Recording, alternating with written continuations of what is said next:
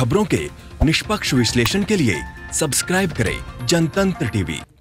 Corona virus के बढ़ते खतरे के बीच बुधवार सुबह महान एयर फ़्लाइट से 277 भारतीयों को तेहरान से भारत लाया गया।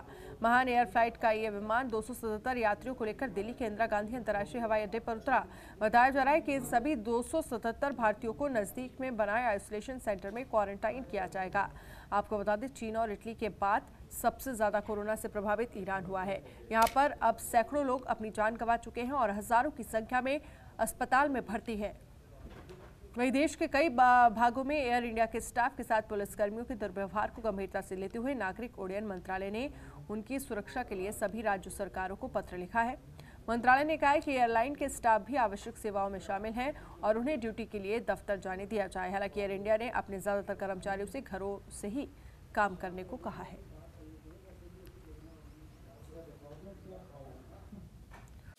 खबरों के निष्पक्ष विश्लेषण के लिए सब्सक्राइब करें Jantantra TV and press the bell icon. Never miss any update